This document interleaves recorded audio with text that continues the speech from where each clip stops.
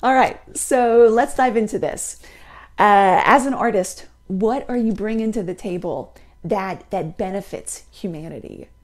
You know, what can art do that other disciplines cannot?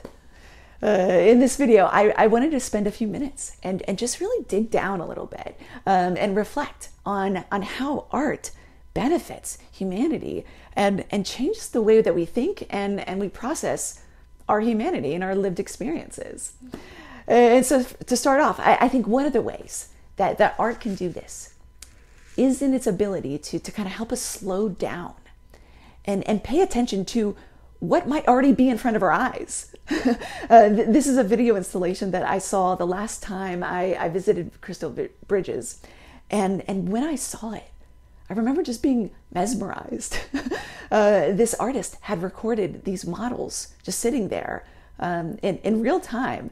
And I think it was like an hour long, I don't know. And, you know, the more I watched, the more I found myself noticing. And actually, the more empathetic I felt toward these subjects. So, so in this case, art was able to help me slow down and, and really look at, at what I was already seeing. Uh, another strength of art lies in its ability to provide clarity and, and a rhythm that, that we don't normally tap into. Uh, as I mentioned, you know, art helps us notice the, the big themes uh, in our humanity and kind of helps us see the, the continuity of our lives, uh, perhaps in ways that we normally would overlook.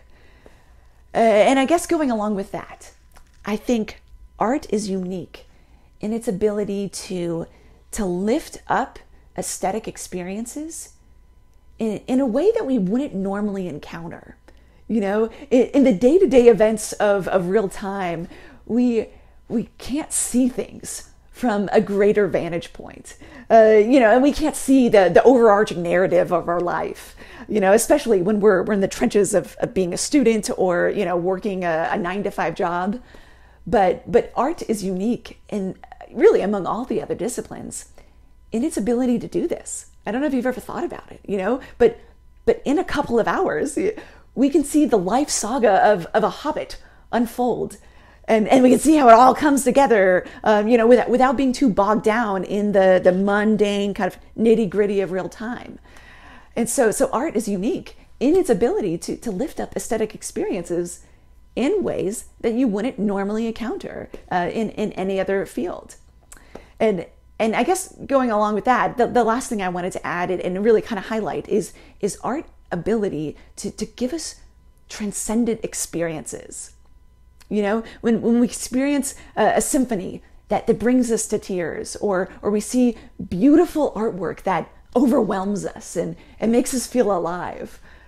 You know, we, we can't help but to think that our life has, has meaning and, and some kind of ultimate purpose.